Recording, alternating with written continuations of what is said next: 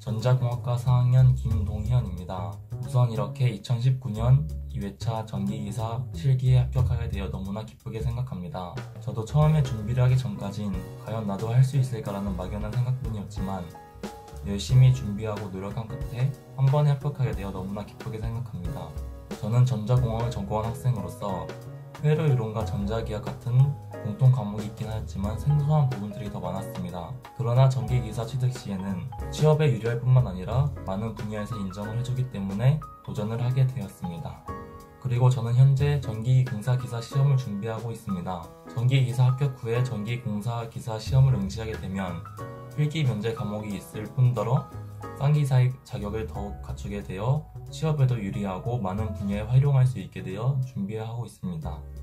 2019년 1회차 실기 시험은 상대적으로 쉬운 편이었습니다. 그에 따라 2회차 실기 시험은 더욱 어렵고 합격률도 저조한 시험이었습니다. 2회차 실기에 신유형이 많이 나와 합격 발표가 나오기 전까지는 예측을 하기 어려웠습니다. 이번 2회차 실기 합격률은 16%로 합격률이 말해주다시피 다른 학생들도 저처럼 어려웠다고 느끼셨을 것 같습니다.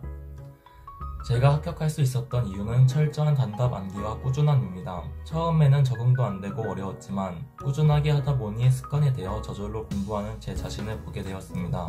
매일 하루의 일정한 양을 계획해가며 단답을 외웠고 단답을 모두 외운 것이 합격의 중요한 당락을 결정했다고 생각합니다. 첫 번째 방법으로는 무조건적인 암기는 일시적으로 기억에 남을 뿐 오래 가지 않습니다. 그래서 저는 머릿속으로 이해를 해보며 쉽게 암기하려고 노력했습니다. 예를 들어 지중성인 경우에는 땅 속에 매설되는 선로인이 가공선에 비해 땅을 파는 노력이 유하고 그에 따라 공사 기간도 길며 비용도 비쌉니다. 이런 식으로 저는 쉽게 쉽게 접근하려고 노력을 했습니다.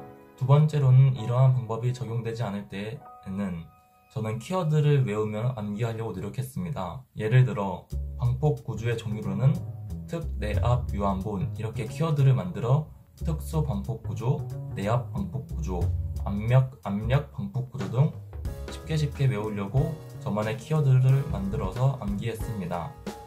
위에서 말씀드렸다시피 실기에서 단답을 모두 외우냐 못 외우냐가 합격을 좌지우지한다고 생각합니다. 매회차 신유형이 나오며 그러한 문제들은 틀릴 확률이 높습니다. 그러나 기출 문제들을 풀 수 있다는 가정하에 단답을 충실하게 암기하시면 저는 합격할 수 있다고 생각합니다. 우선 단답을 하루에 다섯 문제 또는 일정한 양을 정해놓고 매일 외워주세요. 아침에 일어나서 한 번, 자기 전에 한 번 계속 보시다 보면 어느새 눈에 익으실 수 있습니다. 또한 설비 기준 과목 같은 경우에는 스마트폰 CBT 어플을 이용하여 자투리 시간 동안 풀어주세요. 학교 쉬는 시간, 밥 먹는 시간, 등교 시간 등 설비 기준은 문제 푸는 시간이 길지 않기 때문에 짜투리 시간을 이용하여 풀면 시간을 효율적으로 사용하실 수 있으십니다. 저는 교재에 포스트잇을 이용하고 여러 가지 색깔 펜을 이용하여 중요한 부분은 더욱 눈에 잘 들어오게 체크를 해놨습니다. 그리고 시간을 효율적으로 사용하기 위해 이렇게 포스트잇을 이용하여 원하는 부분을 바로 찾을 수 있도록 표시를 하는 게 중요하다고 생각합니다.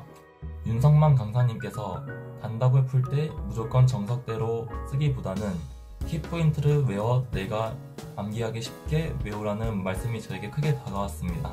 또한 저는 전기기기 과목이 가장 헷갈렸는데 최한호 교수님께서 열정적으로 잘 가르쳐 주셔서 쉽게 배울 수 있었습니다. 전기기사 시험을 보기 전까지 선배들로부터 제가 들은 얘기는 시험이 많이 어렵다. 한 번에 합격하기는 힘들다라는 말을 많이 들어 저는 상당히 겁을 먹었습니다. 그러나 제가 막상 준비하다 보니 이것은 개인의 노력에 달려 있다고 생각합니다. 자기가 얼마나 절실하게 준비하느냐에 따라 합격 당락을 결정합니다. 여러분, 자신을 믿고 굳건히 나아가세요.